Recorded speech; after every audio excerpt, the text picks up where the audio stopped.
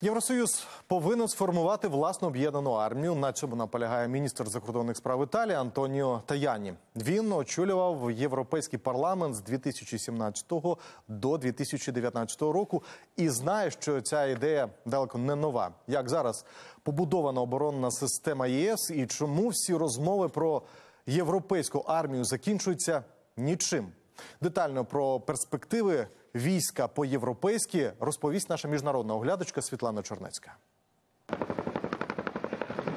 Війська Євросоюзу штурмують пляж вигаданої країни Сеглія. Це перші в історії об'єднані військові навчання ЄС. Вони відбулися в кінці листопада і перевіряли, як працюють армії європейських країн під головуванням генштабу Євросоюзу. В Брюсселі їх назвали історичними.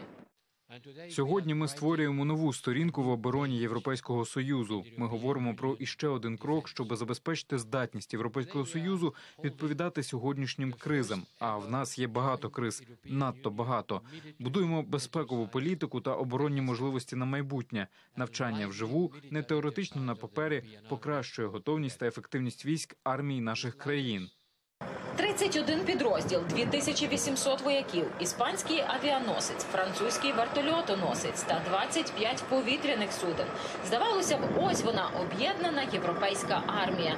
Але ні, в Брюсселі наполягають. Це не армія блоку, а всього навсього бойова група. Наступного року Євросоюз планує мати так званий потенціал швидкого реагування чисельністю 5 тисяч солдатів. Мова не йде про створення європейської армії. Окремі армії європейських країн залишаться. Кожна держава-член має своє власне військо, армію, але ми повинні працювати разом тісніше. Ми повинні краще координувати наші витрати. Ми повинні мати можливість реагувати.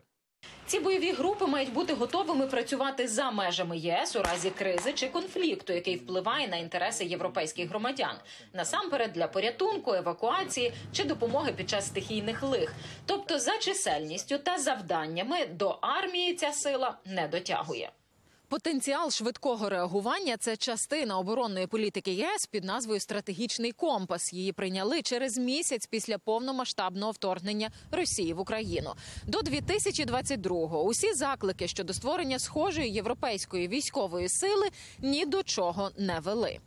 Головним ідеологом створення європейської армії завжди була Франція. Перші спроби вона робила ще у 1950-му у відповідь на радянську загрозу. Найсвіжіший заклик президент Макрон зробив 5 років тому, але особливої підтримки серед країн-членів ця ідея не знаходила. Насамперед, через боязнь підірвати авторитет НАТО, адже більшість країн ЄС члени і цього військового альянсу. Я твердо вірю в те, що зміцнити європейську оборону абсолютно можливо в такий спосіб, який є додатковим і не дублює зусилля НАТО. Європейський союз не є військовим альянсом і не збирається перетворюватись на військовий альянс. Це питання максимізації спільних зусиль, які європейський союз може принести державам-членам ЄС. Європа розуміє, що їй потрібна військова сила, яка не буде залежати від США. Бо у випадку переобрання Дональда Трампа президентом доля альянсу буде невідомою. Трамп називав НАТО застарілим і хотів покинути. А без американської воєнної міці, зокрема ядерної, Європа не зможе себе захистити.